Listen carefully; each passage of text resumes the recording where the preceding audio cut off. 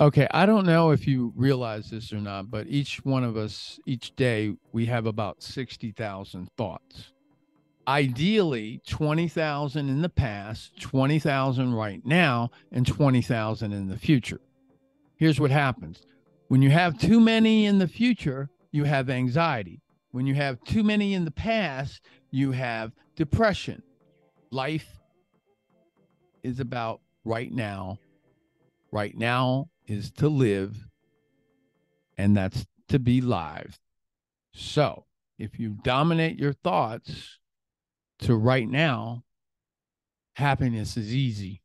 If you allow your thoughts to be dominated by the past, not being depressed is hard. Just a thought.